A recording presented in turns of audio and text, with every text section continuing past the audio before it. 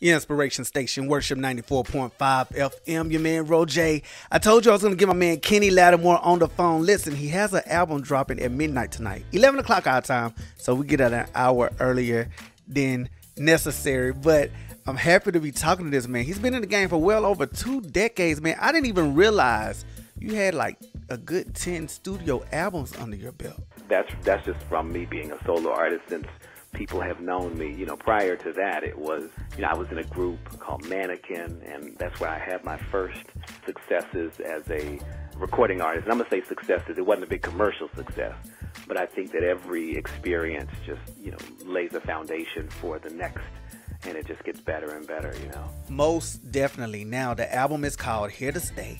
And with you being so many albums deep in the game, what stories did you want to tell from this chapter of your life? You know, the Here to Stay really, uh, from a lyrical standpoint, I wanted to really talk about where I am today in my relationship. Uh, so my current wife, I, I, I would say, inspired every single lyric from this particular project. The project, from a musical standpoint, really was inspired by my producer. His name is uh, Drakkar Madison Wesley. Uh, Madison is really his stage name or what have you, but he uh, used this as a way to uh, solidify him as a producer because he had done several songs for me through the years, like "Stay on Your Mind" and "Love Me Back," things like that.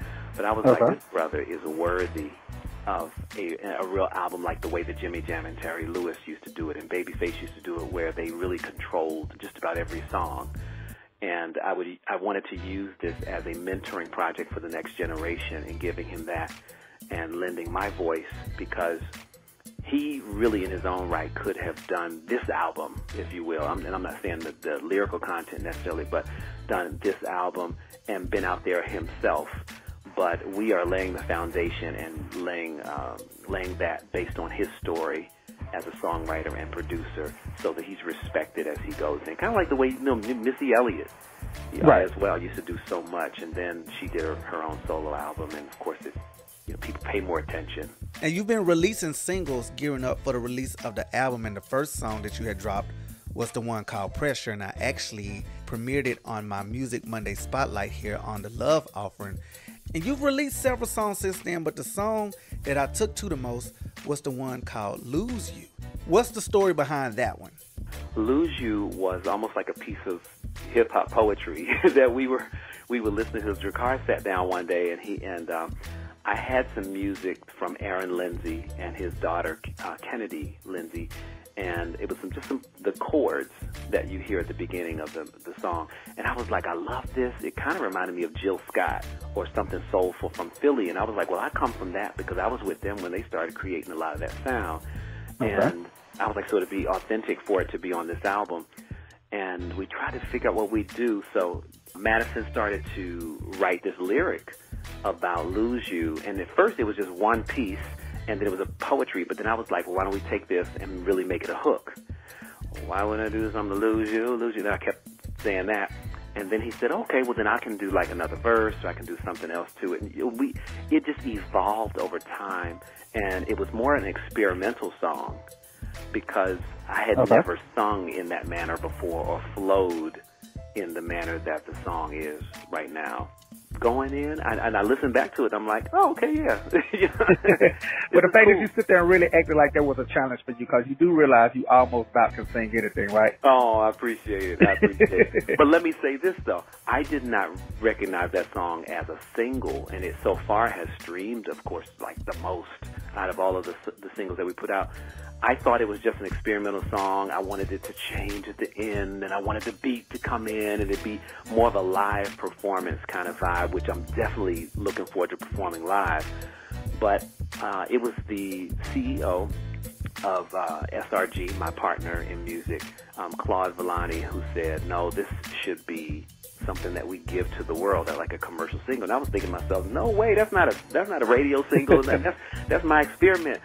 But he was like, no, I think it is. And I was like, well, kudos to him because I probably would not have made that move. But now everybody gets a chance to hear a different side of me. um, okay. that, I, that they wouldn't have heard if it had been up to me. right. So you guys stick around. I'm gonna keep my man Kenny on the line. We're gonna talk a little bit more about this album dropping here in a couple of hours. All right. Be sure to keep it locked right here. It's your inspiration station. Worship 94.5 FM. More love offerings on the way for you right here, your inspiration station, Worship 94.5 FM. My man Kenny Lattimore still on the phone with me. Now, we were talking about his song Lose You that's available now for stream. It's going to be on the actual album that's dropping tonight. Here to stay. And you was telling me how you didn't even want that as a single. Now, seeing that we know Kenny for singing most of the ballads and what have you, do you like to kind of play it safe or were you willing to take the risk on for trying something different? No, I, I like to take uh, ch- chances with it. Like on the on my last album, Vulnerable, even Vulnerable was different. There's a song on there called Push that was different. I was like, oh, I want to do something 80s. I want to do something. And then if you come to see me live, I sing classical, I sing jazz, I sing all kind of things that let people know that I love being a student of music and stepping outside of what people expect. Adding Lose You to, to my show gives it, uh, and I'm not saying it's, t- it's not a total hip hop thing, but it it is a, it generates a little more towards um, the relevant sound of today, where hip hop and R&B have met. And right. at the same time, what I love is that my audience can listen to that, and they and it's authentic still. That's the key to it all is that it's authentic. I don't ever want it to sound like, oh, Kenny tried to do that. right, right, right. and he almost did it, you know. I, I want it to be like, oh, you know, I believe him. You know, I believe him in this space. And then when he sings Frank Sinatra and Nat Cole, I believe him in that space. When he sings something that's operatic, I believe him in that space. If he sings For You in the balance, I believe it. That's my my goal with all of this. Now, don't don't get on me too bad because everybody here knows how much I love a live show, but I haven't seen you live yet, which is crazy now that I think about it. But talking about all of these styles that you have when it comes to your music, how do you employ all of these styles? And I mean, actually, the albums as well, and the time frame that you have when you get on the stage. You know what it's about, um, and I found that um, people really enjoy this. I discounted who I was and what my real story was for many years. It took me going to see like Lalah Hathaway. I saw Lalah Hathaway build a consistent show for many years until she recorded it and won a Grammy on her show. There's a hmm. couple things that happen with us as artists. We get self-indulgent. Sometimes we feel, oh, I've done that so many times, or everybody's heard me sing this, or everybody's heard that, and they really haven't. You know, it's impossible. Just like you haven't seen the show, it, we don't ever want to take that for granted. So I started to talk about my background and tell who I am. This is what I came from. And take people on a whole journey of storytelling and music. And that's how it all fits together. And I, I learned that from watching Lalah, watching Rachelle Ferrell, watching other, other Luther Vandross, like other artists set up songs. Gladys Knight, oh my gosh, one of the masters of setting up a song. Yeah. And um, and I tried to incorporate the things I had learned into my show and, and then not deviate from it. Just perfect it where I can tell it again in a, in a way that's natural and where people will understand, oh, he's telling his story about when he was a kid. Oh, now he's so. So when you come to my show, it's almost like a Vegas show or a Broadway show. gotcha, gotcha. Well, I'm going to make this promise to you. I will get to one of your shows. Okay? Please do. Yes, come be my guest. I'm going to get. I'm going to get to one of your shows. But after all of the successful singles, the R&B albums, the nominations, the awards, all of that you experienced throughout your career, what do you feel is the next big challenge you set for yourself? Um, to just continue to expand. I want to I want to expand more into television and film. Make sure that I'm taking myself to the entire entertainment industry as opposed to just music. I love how it all goes hand in hand. I just did a song for a film called Adventures in Christmas that I think VH1 had on last night, Kim Fields. And okay. I love writing for film. I love acting, being in the films. I, I love hosting, hosting not only events, but uh, I, I want to host something on television. I think that would be very interesting. So those would be the challenges for me.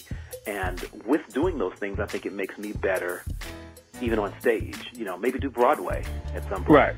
And then it just keeps enhancing me so that I am forever a student and I keep growing and it doesn't get to the point where it's like, well, I'm Kenny Lattimore, and I don't ever want to be one of those people that think that I'm the end all just because I've been just because I'm old. You know, just something. you know, I've been doing it for a long time. No, I'm not Right. that guy. Not that guy. Okay. So uh, I, I just want to forever be a student and keep growing and expanding. Kenny, I appreciate you taking the time to stop in and holler at me right here on the Love Offering, man. I can't wait to check out this album when it drops here in just another hour or two. I'm a sucker for R&B. Everybody around here knows that, so I'm really excited to check this project out. Once again, guys, Here to Stay drops at midnight Eastern Time, so that means 11 for us. Kenny, once again, I thank you, man, and I'm gonna let you know what I feel about this album. All right, just continue to soar, my brother. Thank you. I appreciate it. You guys keep it locked right here. I got more love offerings on the way for you right here, your inspiration station. Worship 94.5.